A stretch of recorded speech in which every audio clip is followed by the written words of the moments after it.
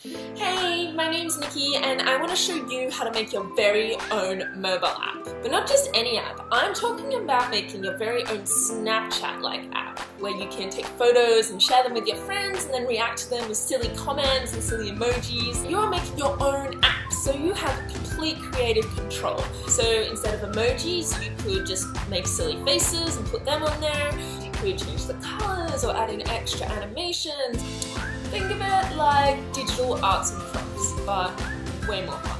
Okay, so how do we make our own app? Well, you've probably heard by now that apps and websites are written in this stuff called code. And if you look at code, it probably looks like gobbledygook to you. And you're all like, most people think that coding is something that's really hard and that you have to be really smart and really good at maths and science to do it, which is totally not the case. But when I started learning how to code, I would practice by making silly little games for my friends and my family.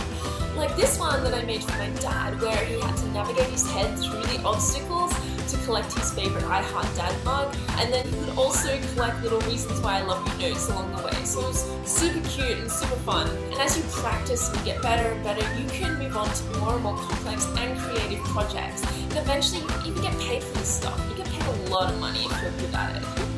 Okay, so I'm holding a few workshops this coming holidays, and if it sounds fun to you, I would love you to come along. I'm going to be holding the workshop at Fishburners, which is here. Um, it's a really cool space. It's actually the largest co-working space for technology startups in Australia. Sound like fun? Cool. You should book your spot now because there's really limited spaces. Grab a friend because it'll be more fun with friends. And I can't wait to see you there. Bye.